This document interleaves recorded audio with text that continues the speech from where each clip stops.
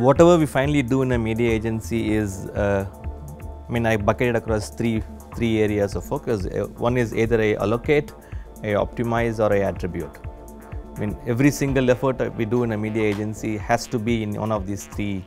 buckets. Programmatic uh, buying or an approach towards a programmatic way of media planning ensures that allocation, optimization, and attribution is absolutely sure and clear versus uh, in, in non-programmatic you are making some assumptions. So uh, what it means to a media agency is that your data and technology become uh, that much more central to a business and uh, poor data means poor product which essentially means that we need to invest more in data and, and uh, ensure that uh, we are real time aware of what's happening in the marketplace and therefore to me